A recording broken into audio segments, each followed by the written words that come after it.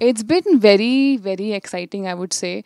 Uh, when I started off, I never thought that I would, you know, one day be working with uh, such great actors and such great directors because I never took myself serious as an actor earlier.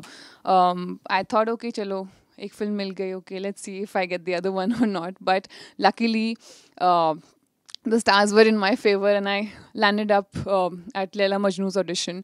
I was not there to audition, but uh, the casting director found me and he said, "You look Kashmiri, so you should audition for it." And that's how I got Laila Majnu. That's when I, uh, you know, thought that maybe there is something for me here and I should take it seriously.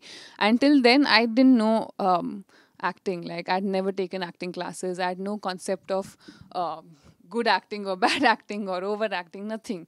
So that's I think after the first get of Laila Majnu wrapped, I, I, enrolled for acting classes, and that's when I understood the world. That's when I was like, okay, this is something where I'm having fun, and I'm really really grateful for wherever you know God has taken me, and I've met a lot of lovely people, uh, met a lot of people who I've learned a lot from, and I think it's it's been a very very exciting and overwhelming journey, and the kind of love that I get today from fans of Qala, Bulbbul, Laila Majnu, Animal.